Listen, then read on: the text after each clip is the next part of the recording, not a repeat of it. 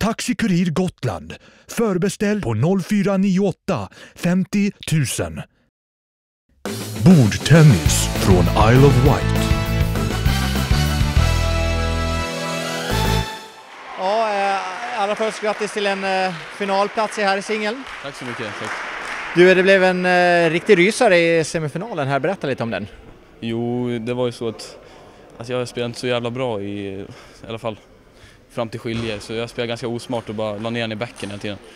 Och sen, eh, sen började jag lägga ner fåren, då vann jag 11-3 i skilje till slut. Så det var ju ganska bra i alla fall. Du, eh, hur har annars din eh, vecka varit hit? Blir det här höjdpunkten på veckan? Eh, jo, det blir det såklart. Eller lagfinalen är ganska, ganska kul fast vi vann ju inte. Så. Men berätta lite om, om lagfinalen.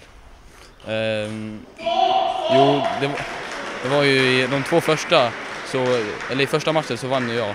Alltså jag vann de två första seten, så la jag sen. Och sen jag tror att det påverkar matchen lite. Jag la, vi la 4-0 i, i laget. Men nu ser du fram emot en eh, guldpeng här.